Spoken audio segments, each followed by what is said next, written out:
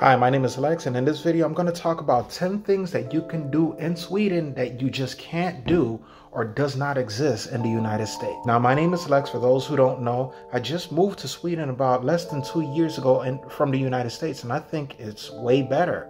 Number one on the list, in Sweden, you get 240 parental day of leave.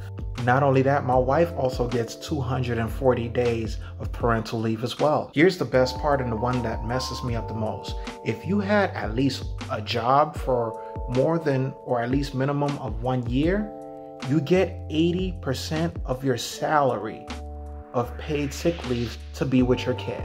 In the United States, that would never happen. You would have to find like a parent or a close friend or family to take care of your kids.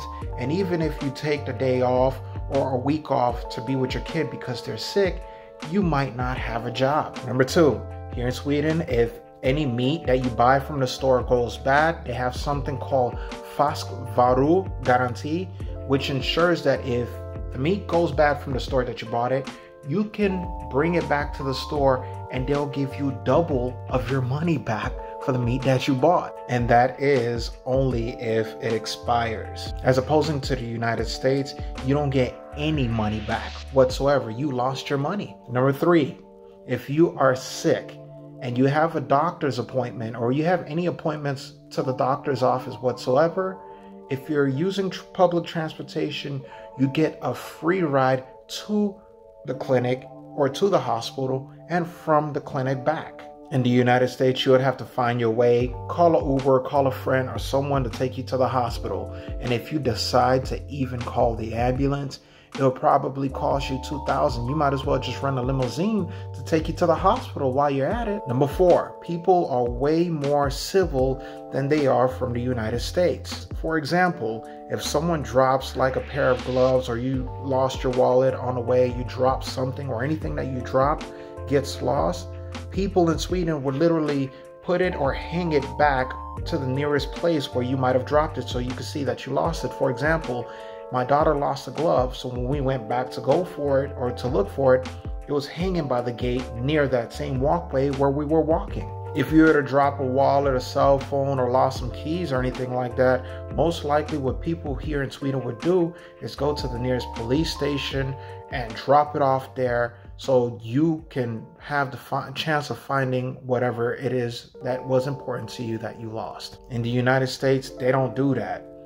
It'll either end up on Craigslist or someone's taking it. Seriously. Number five, giving birth here in Sweden is completely free at the hospitals. I know this because I have two of my kids that were born here in Sweden and it didn't cost me a thing. The only thing that I had to pay for was $10 over uh, for my wife to stay overnight, you know, and that's it. 10 US dollars per night to stay at the hospital. As opposing to the United States, it will cost you nearly or more than $50,000 if you don't have insurance or anything of that sort. Number six, the cost of pre-K or AKA what they call here in Sweden förskolan is affordable as hell here in Sweden.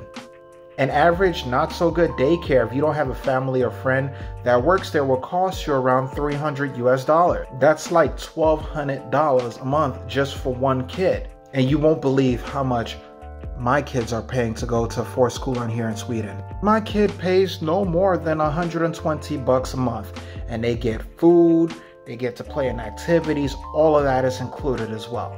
Number seven, here in Sweden, you get free dental health care until you're the age of 23. I find that to be amazing because in the United States, I never had free health care. I mean, even though I had Medicaid, which was like provided by the government, um, my parents always had to pay a co-pay fee uh, for me to get dental assistance. And I'm happy that even though I wasn't born and raised in Sweden, of course, my kids get to experience this opportunity to, you know, get their teeth clean and check for cavities, plaques, and all of those stuff that could damage their teeth in the future, of course. And I'm happy about that here. And of course, this only applies to Swedish citizens or there are permanent residents of living here in Sweden, of course. So yeah, it's a little bit too late for this gap to be fixed.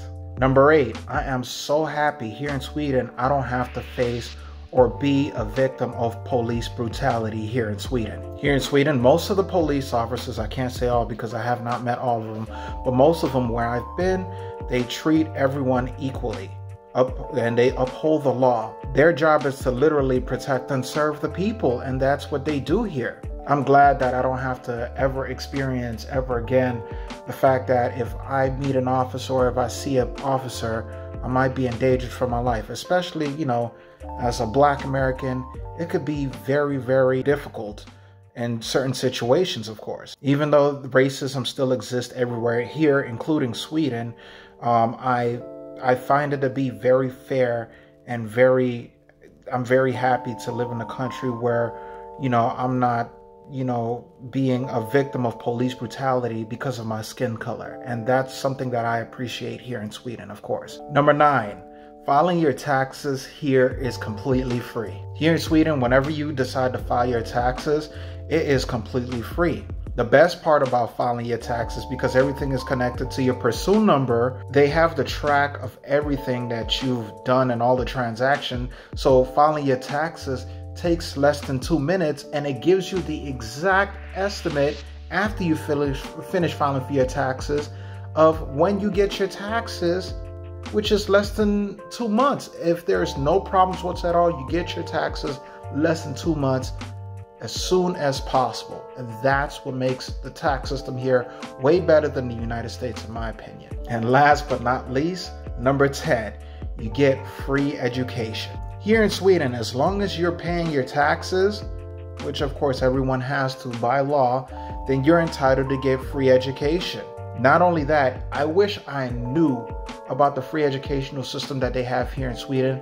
I would not have at least spent thousands and thousands of dollars in college. I could have just came here to get my bachelor's degrees and it would have been just as good as studying in the United States. In the University of Miami, the average semester correct me if I'm wrong, starts off anywhere from $23,000 and up. With that money, I could have started a business or done something or saved that money for my kids, of course. And I wish I would have knew that.